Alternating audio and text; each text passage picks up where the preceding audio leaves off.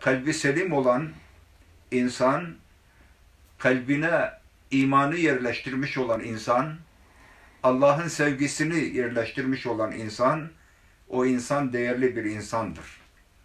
Kalbi selim olan insanın birinci hedefi Allah'ı razı etmektir. Birinci hedefi Allah'ı razı etmektir. Kalbi selim olan, yani kalbi temiz olan, kalbi imanla dolu olan bir kimse, ahireti dünyaya tercih eder. Yani üstün kılar. Yani ahirete daha fazla önem verir. Kalbi temiz olan, kalbini imanla dolduran bir insan, Allah'ın emirlerini, Allah'ın hükümlerini bütün emirlere, bütün hükümlere tercih eder.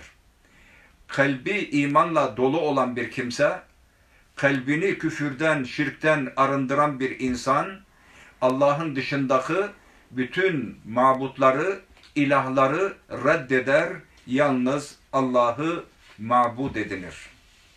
Kalbi selim olan, yani temiz olan, kalbi imanla dolu olan bir insan, devamlı Allah'ı anar, Allah'ı zikreder. Devamlı ve sürekli Allah'ın dinine yardım eder. Kalbi temiz olan insan ve kalbini küfürden, şirkten, kötülüklerden arındırmış olan bir insan Kur'an'dan ayrılmaz. Devamlı onu okur ve okuduklarıyla amel eder. Kalbini imanla dolduran bir insan sünnete sımsıkı sarılır ve hurafelerden ve bid'atlerden uzak kalır.